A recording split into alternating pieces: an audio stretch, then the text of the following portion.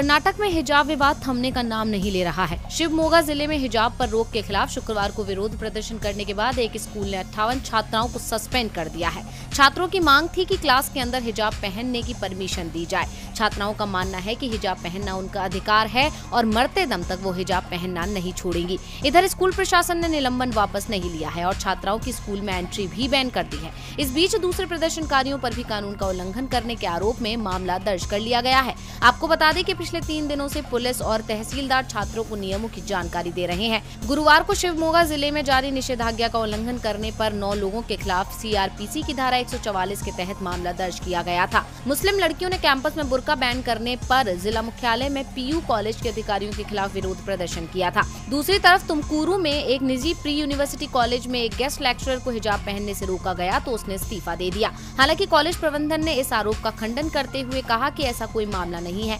पिछले तीन सालों से अंग्रेज़ी पढ़ाने वाली चांदनी ने कहा कि प्रिंसिपल ने उन्हें बुलाया और कहा कि उन्हें आदेश मिला है कि कोई भी हिजाब पहनकर क्लास नहीं करेगा। वहीं कर्नाटक सरकार ने हाईकोर्ट में अपना पक्ष रखते हुए कहा कि इस्लाम में हिजाब पहनना कोई ज़रूरी नहीं है। भारतीय संविधान के अनुच्छेद 25 का उल्लंघन नहीं है। आपको बता दें की कर्नाटक में एजुकेशन इंस्टीट्यूट स्कूल और कॉलेजों में हिजाब को लेकर हालात तनावपूर्ण बने हुए हैं। ये विवाद उडुपी के एक सरकारी कॉलेज से शुरू हुआ था। मुस्लिम लड़कियों ने ज़ोर देकर कहा कि उन्हें हिजाब पहनने की अनुमति दी जानी चाहिए क्योंकि ये उनका धार्मिक अधिकार है।